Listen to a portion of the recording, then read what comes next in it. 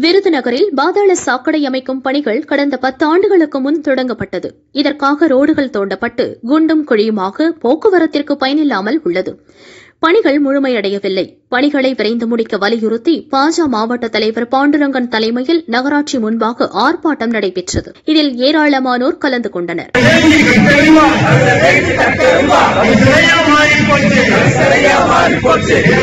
நிர்வாகமே